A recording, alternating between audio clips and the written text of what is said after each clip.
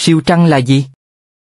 Siêu trăng, hay còn gọi là supermoon trong tiếng Anh, là hiện tượng mặt trăng trông lớn hơn và sáng hơn so với bình thường khi quan sát từ trái đất. Điều này xảy ra khi mặt trăng ở vị trí cận địa, Perai, tức là điểm gần trái đất nhất trong quỹ đạo hình elip của nó. Khi mặt trăng ở vị trí cận địa và trùng với pha trăng tròn hoặc trăng non, chúng ta sẽ thấy mặt trăng lớn hơn khoảng 7 đến 14% và sáng hơn đến 30% so với các lần trăng tròn thông thường. Điều kiện để có siêu trăng một, Mặt trăng phải ở giai đoạn trăng tròn, hoặc trăng non. Hai, Mặt trăng phải ở điểm cận địa trong quỹ đạo của nó quanh trái đất. Tại sao mặt trăng không luôn luôn là siêu trăng?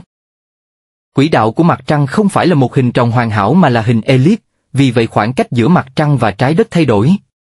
Khi mặt trăng ở điểm gần trái đất nhất, cận địa, nó trông lớn hơn và sáng hơn. Ảnh hưởng của siêu trăng về thị giác, mặt trăng sẽ trông lớn và sáng hơn, nhưng ảnh hưởng này thường không dễ nhận thấy bằng mắt thường nếu không có sự so sánh với lần trăng tròn khác. Về tác động, siêu trăng có thể gây ra thủy triều cao hơn bình thường, nhưng không có ảnh hưởng lớn đến các hiện tượng tự nhiên khác.